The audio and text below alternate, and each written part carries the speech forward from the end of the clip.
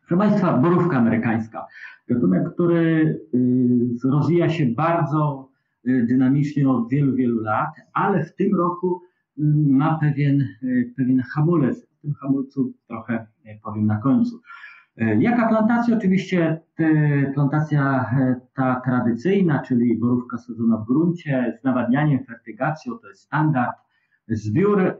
I tutaj jest e, większość, większość gospodarstw ma pewną dywersyfikację, czyli część odmian jest wczesnych, część późnych, pozostałych jeszcze, e, pozostałe albo większość stanowi jednak odmiany środka, czyli w dużej mierze blue crop i, i inne odmiany.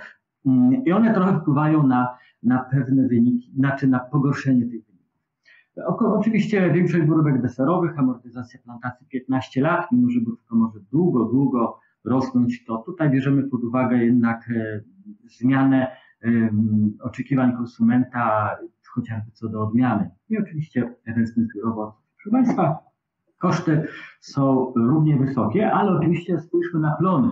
E, plony na poziomie 10 ton nie są plonami e, niemożliwymi do osiągnięcia, zwłaszcza jeśli weźmiemy pod uwagę właśnie te czynniki plonotwórcze, czyli odpowiednie nawożenie i, zapewnienie właściwej ochrony e, oraz jakości materiału wyjściowego. I widzimy, że mm, również w borówce te koszty nawożenia w 2021 roku na poziomie niecałych 6 tysięcy, czy środki ochrony, widzimy, że borówka wymaga mniejszej ochrony niż chociażby truskawka, ale e, w 2022 ten wzrost kosztów jest trochę większy, ale to saldo nie jest znowuż jakieś bardzo wysokie. 2000 wzrost kosztów nawożenia, czy 1200 kosztów środków ochrony roślin i znowuż mamy wysoki koszt, e, wzrost kosztów prognozowanej pracy ludzkiej. Jeżeli spojrzymy na, mm, na strukturę kosztów, tutaj się praktycznie, e, można powiedzieć, może nie do końca pokrywa, ale ponad 50% są koszty pracy ludzkiej, niecałe 6 i nieco ponad 6 w prognozie nawozy. Duże znaczenie mają też koszty przygotowania do sprzedaży, a więc e, borówka musi być przesortowana, opakowana, przechowywana, zanim e, pójdzie do, do handlu.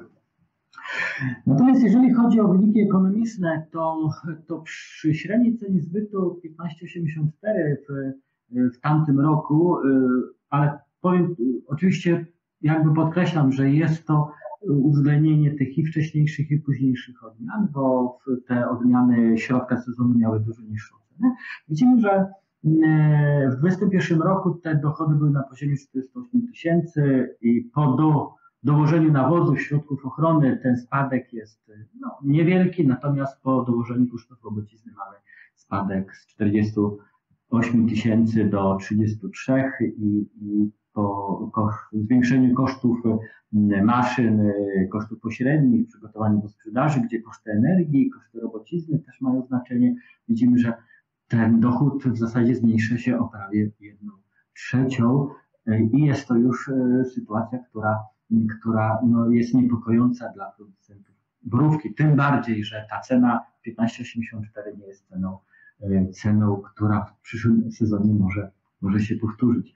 Jeśli chodzi o e, próg rentowności, to proszę e, zwrócić uwagę, że w zasadzie przy tych rosnących kosztach to mamy przy 7 1, przy około 7 tonach mamy zrównanie kosztów z przychodami. Dla wielu plantatorów może taki plon być szokiem, bo od wielu słyszę, że mają 4,5, 5 ton, 5,5, e, 6 i, i, i to są maksimum, ale jeśli wzrosną te koszty, to, to przy takim Y, przy takim plonie będzie trudno utrzymać tą opłacalność produkcji. No co jeszcze chcę Państwu zwrócić uwagę? E, to, to jest e, wykres pokazujący, jak zmieniały się, jak wygląda relacja cen zbytu e, w zasadzie przez cały sezon z podziałem na, na poszczególne miesiące i, i połowy miesiąca. A więc połowa czerwca i pierwsza połowa sierpnia, lipca to są odmiany te albo wczesne, albo wcześniejsze. No i po yy, druga połowa sierpnia i pierwsza połowa września i dalej, później oczywiście mamy przechowywanie borówki.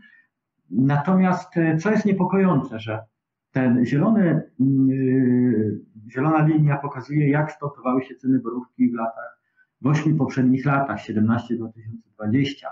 Yy, I w stosunku do tego, co nastąpiło w 2021 roku, czyli yy, wyraźnie widać, że tylko bardzo wczesne odmiany w 2021 roku miały lepszą cenę niż średnia z tych 8 lat, natomiast w pozostałej części sezonu te ceny kształtowały się no, trochę niżej, nawet powiedziałbym znacznie niżej niż, niż e, w poprzednich latach. Jest to ten niepokojący e, sygnał, że e, już w borówce być może ceną nie nadrobi się tych braków, jeśli chodzi o, o klonowanie, o plon, borówki.